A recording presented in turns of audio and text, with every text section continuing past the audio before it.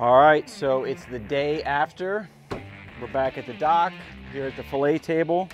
And uh, like I said, you know, we didn't uh, set the world on fire, but we did catch a few yellowtails. Riley caught one nice porgy. So we're gonna go ahead and get those filleted up and then we're gonna move inside of the kitchen. I've got a pretty cool, simple dish that I wanna show you guys on how I love to prepare uh, these yellowtail snapper. So here we go.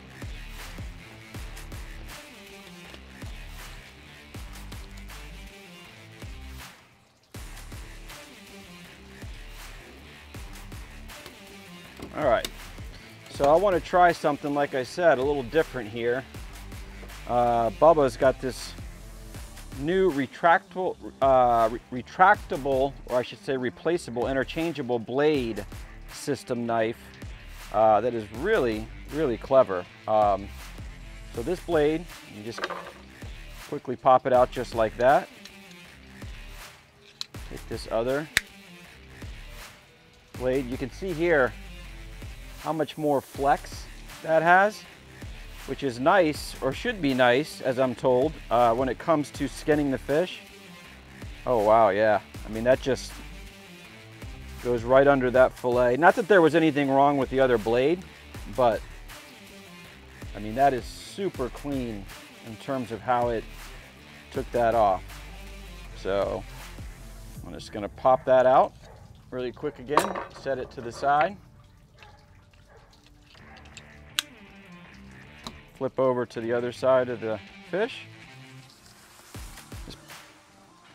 I like the stiffer blade when you got to go through a little bit more of the meat and the skin. Stronger blade, stiffer blade, I guess I should say. There we go. Flip. Swap.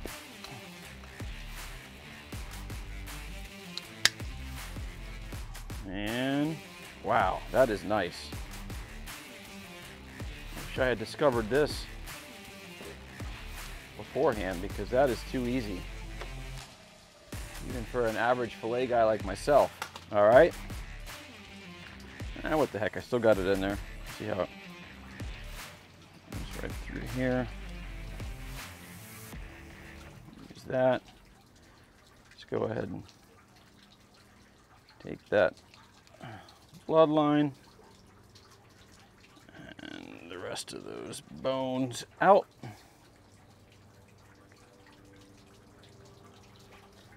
There we go. Another fillet like that.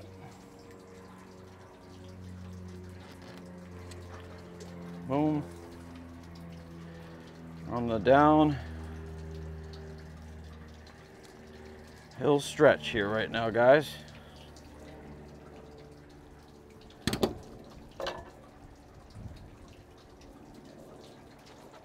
All right, yellowtail done.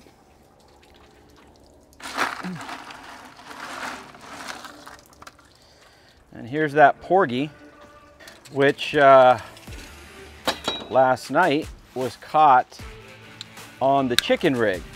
And we had two different styles of rod uh, of rigs going between basically the small jigs and the flat lines for the yellowtail and then these uh, chicken rigs. So uh, if you want to see as far as the chicken rig is concerned, if that's not something you're familiar with, uh, if you'd like to see a future video on how we create that rig, uh, just throw a, a, comment in the video and let us know and we'll be happy to try and make that happen for you.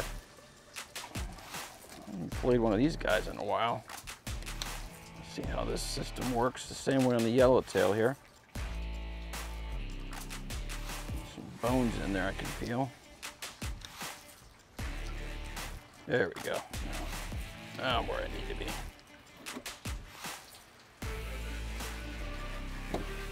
Look how white that meat is. I mean, that's gonna be, mm, delicious.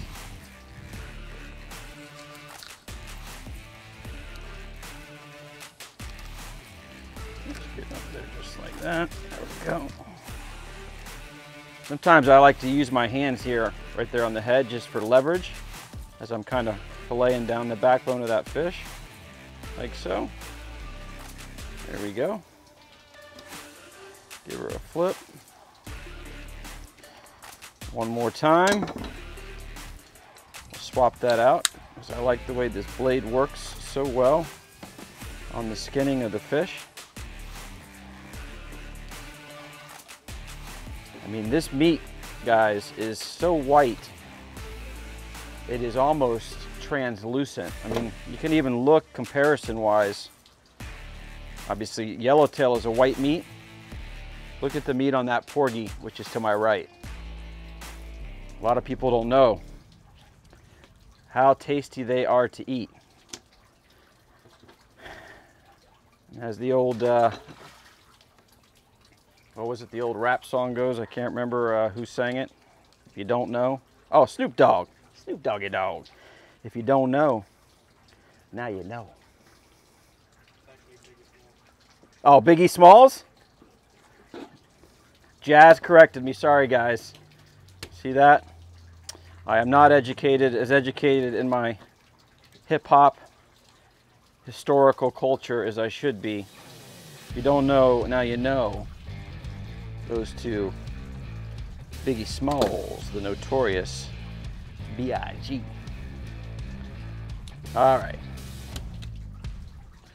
One more little section of bone to remove here from this guy, like so. Got a little bit of rib cage right there. Come on.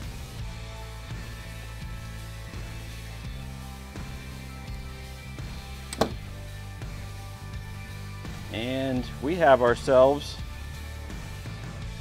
not a huge pile of fish, but we've got certainly plenty for lunch here. So I'll see you back in the kitchen in a few minutes and we're gonna show you how we turn this into a delicious yellowtail sandwich. See you soon. Welcome to Casa de Bunn. We are here in the kitchen. And yes, in fact, your eyes are not deceiving you. It is a cozy kitchen, but small does not mean that we can't deliver delicious. And uh, what I really like about this little recipe that we're gonna share with you guys here today is that it's both simple and it's delicious. Very easy to do. So uh, the ingredients that uh, basically are gonna go into this thing, I've got uh, some limes. Uh, seasoning wise, uh, we've got some Italian breadcrumbs and a little bit of Paul Prudhomme's uh, Seafood Magic. Um, I've got some milk in the fridge. We're gonna be pulling the fish out here momentarily. And then we got some fresh tomatoes and some slices of provolone cheese, which I'll keep you in suspense. Those are the main characters of the dish. Grab the milk.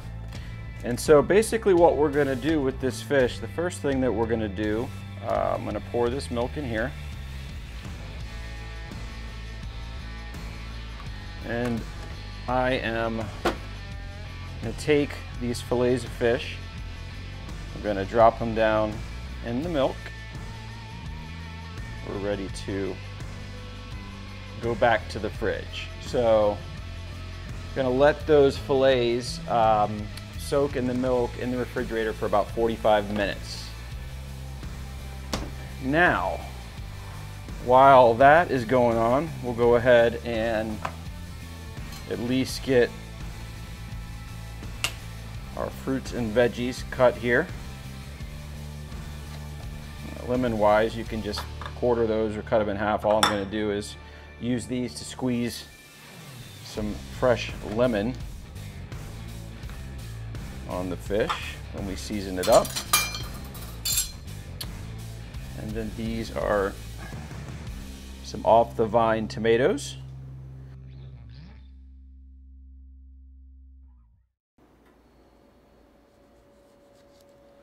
All right, so we got our maters sliced. We got our lemons cut. And we'll stick those in the fridge to keep them cold.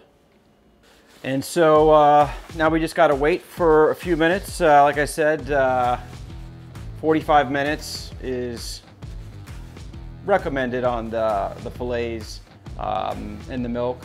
So stand by, and once uh, we're ready to pull that out of the fridge, we'll take you to the next step. Well, our time is up in the fridge with those fillets. They've been soaking in the milk for about 45 minutes. So I am gonna bring them right out here and we are on to the next step. So got uh, the Italian breadcrumbs, as I said, uh, poured those into this bowl here. Now I'm just gonna take those fillets right out of the milk. Gonna douse them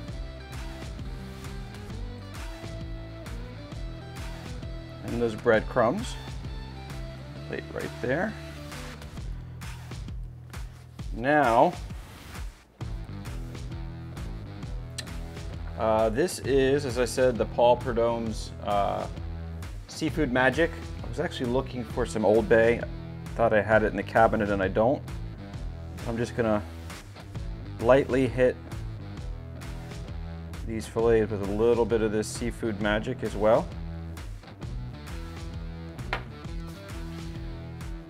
Fresh lemon squeeze.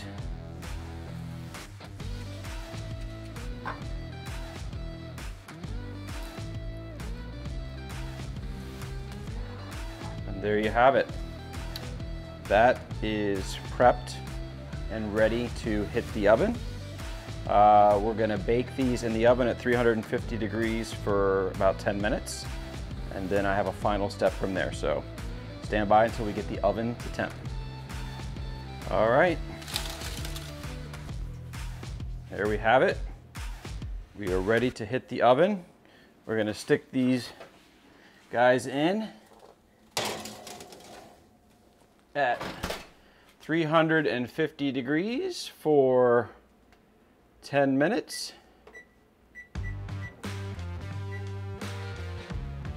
And take those out of the oven in about 10 minutes. They should be delicious. And we have one more step after that before we're ready to put them in our belly. All right, that sound is our 10 minute timer. So next step, we're gonna pull these fillets out of the oven. -hmm. Looking good. Now, you remember those tomatoes we cut, right? They're coming out. This is where this thing really gets good. All right. Just take the tomato, layer it on top just like that. Right there on top. Now, if you're wondering why I've left a couple of those naked, it's because I happen to have a couple of youngsters in the house that don't like tomatoes, which is a crime. So we're gonna leave theirs without. The provolone cheese Comes right on top like so. Mm -mm -mm. Here we go.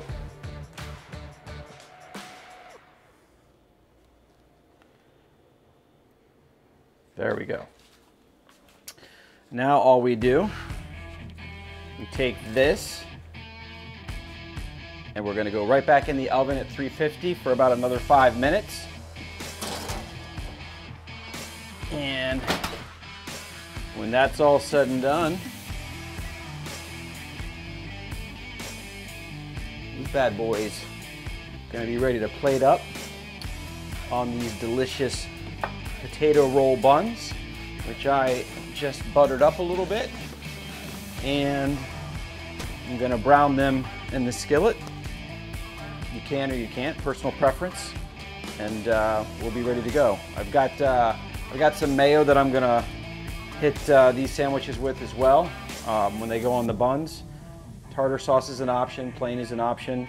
And the last thing that I'll tell you is if you want to skip the bread thing, the no carbohydrates, these fillets with just the tomato and the provolone by themselves are delicious also.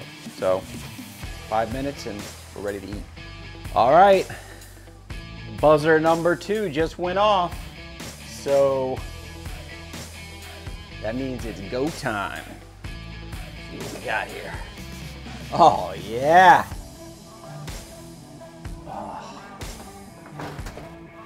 Look at those beauties. That's what I'm talking about. All right. Sandwiches are up. Got a couple of buns toasting here in the pan. So grab one. There we go. Get a little mayonnaise there for the top. Spread that around. Nothing complicated there. Here we go. It's Overflowing the side of the bun, which I like, is that way I just chop it off. Now for the moment of truth. We've got fish, we've got tomato, we've got cheese, we've got bread. Mmm, wow. So good. Mmm.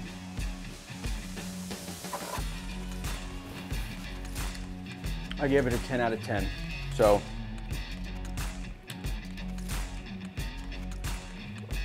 all I can say is, if you like snapper, if you like tomato, and if you like cheese, you're gonna love this, and it's simple and easy to do. Thanks for hanging with us, guys. Uh, Jamie Bunn, again, Fish Bluewater. Uh, it's been a great time, and uh, as we always say, we love to get feedback from you guys on some of the stuff you'd love to see us out there on the water doing, whether it's on my boat or out with other teams or other professionals. So uh, throw a comment up on the videos, uh, DM us on Instagram, message us on Facebook, any of that kind of stuff at Fish Bluewater. And of course, always make sure that you're subscribed to the channel for that new video every Thursday. We'll see you next time on Fish Bluewater.